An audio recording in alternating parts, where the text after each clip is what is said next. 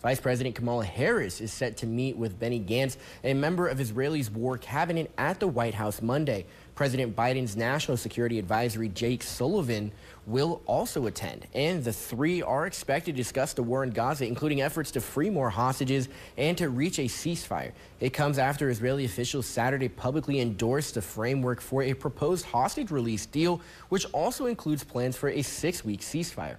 A senior Egyptian official says mediators expect to receive Hamas's response to the deal during talks in Cairo set to start Sunday.